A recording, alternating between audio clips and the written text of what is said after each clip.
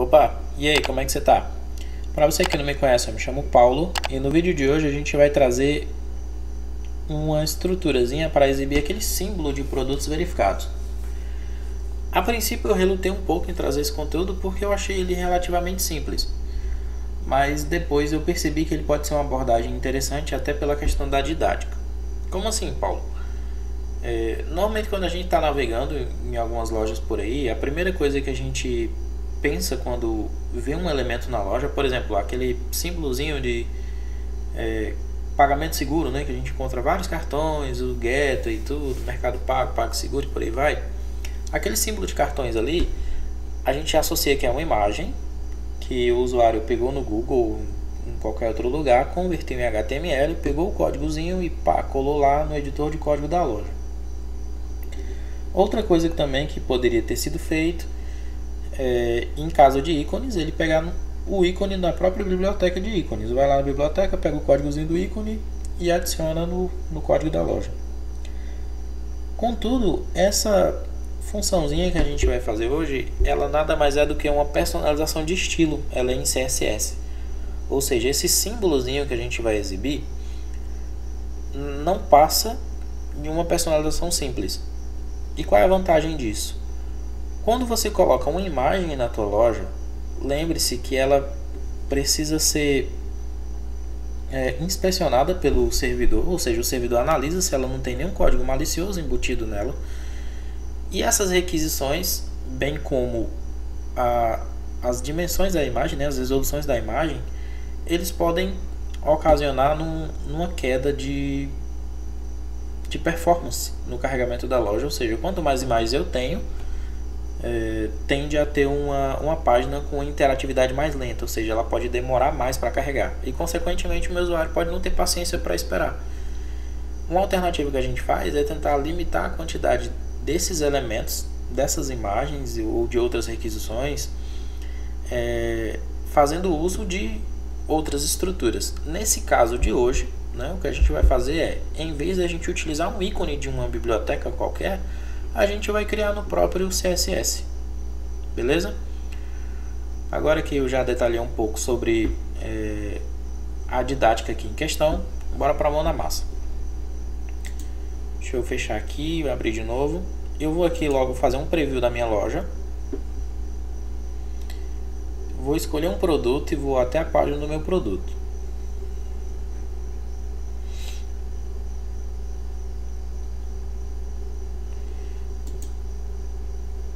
Aqui na página do meu produto eu vou selecionar onde eu quero colocar o ícone. Lembre-se que é aquele íconezinho de produtos verificados. Nesse caso é um íconezinho azul ou verde que tem um Vzinho aqui que é bem, bem característico mesmo.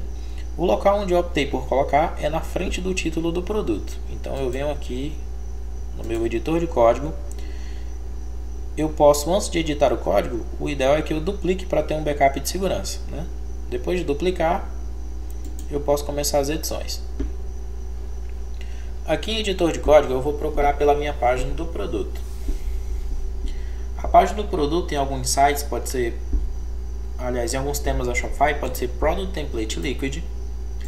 No caso aqui eu estou utilizando o House e no House ele é em Product Info, fica aqui em Snippets, Snippets, Product Info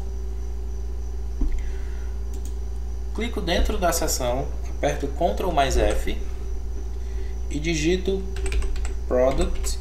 O que é que eu estou buscando? Eu estou buscando o título do produto. Então, Product Título. Aqui eu posso utilizar os cursores para me localizar dentro do código. Pronto, aqui eu já encontrei um. Será que é esse? Eu poderia testar nos outros de cima também, mas para poder agilizar o vídeo, eu vou testar nesse. Que eu já sei que é o que eu estou buscando. Aqui, para ter certeza de que é ou não, eu digito um elemento qualquer, só para saber onde é que esse elemento vai ser exibido no meu código e me mostrar. Ah, exibiu esse 12 lá no título, exibiu próximo do seletor de quantidade, exibiu próximo do preço. Então, dessa forma eu vou me norteando até encontrar a estrutura que eu procuro. Aqui eu salvo, aqui eu dou uma atualizada, E pronto, o elemento que eu coloquei, realmente ele apareceu no local onde eu quero exibir esse meu ícone. Então beleza, é aqui mesmo. Já tendo o local onde eu vou exibir o ícone, eu vou abrir o bloquinho de notas, lembrando que esse código ele vai estar na descrição.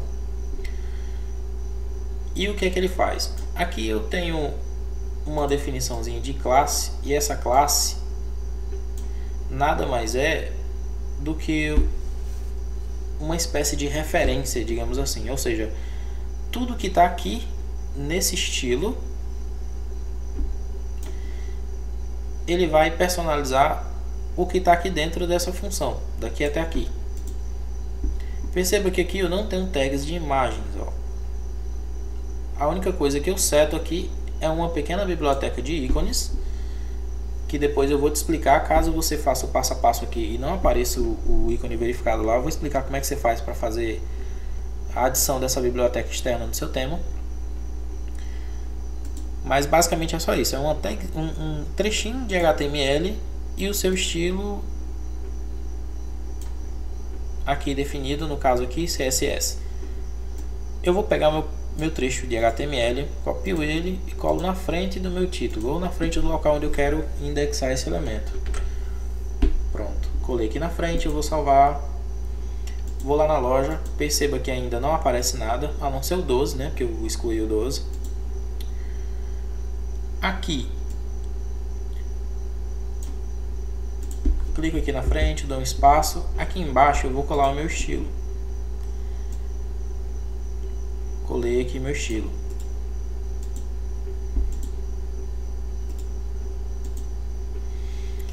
O estilo é daqui até aqui embaixo.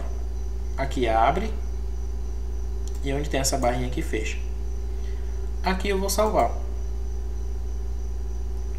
Só isso. E aqui tem o meu ícone de produtos verificados. Vamos supor que eu não queira é, colar esse estilo aqui, tá certo? O que é que eu vou fazer? Eu vou pegar tudo que está fora desse dessas referências aqui do, do estilo de CSS vou apagar eles no caso, desculpa eu não vou precisar copio ele aqui ó, de cima de verification até aqui embaixo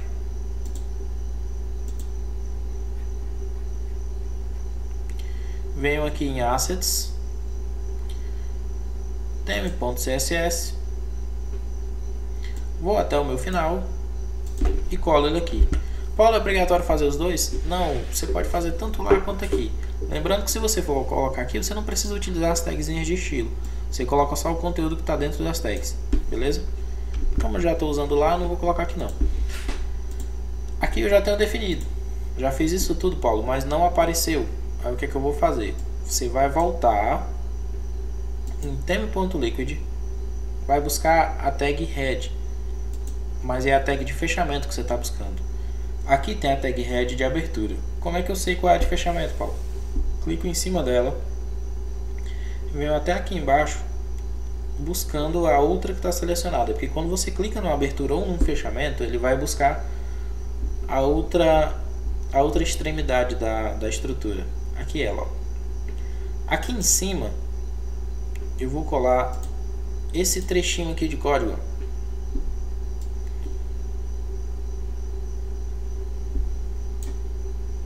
Certo?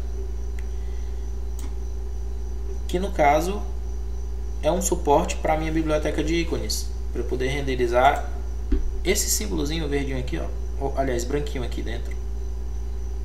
Tá bom? Paulo, mas quando eu coloquei é, lá em Product Info já apareceu tudo. Eu preciso colocar? Não, não precisa. Aqui é só caso não, não apareça. Aí aqui em cima você vai e cola a biblioteca. E é isso aí. Obrigado por ter ficado até aqui. E no vídeo de hoje eu quis trazer essa temática diferente de que nem todo elemento que a gente vê na loja é fruto de uma imagem que foi convertida em HTML e tudo mais. E que você pode sim ter uma loja com diversos elementos. Você só precisa planejar ela de uma forma consciente. Beleza? Valeu, brigadão, até a próxima.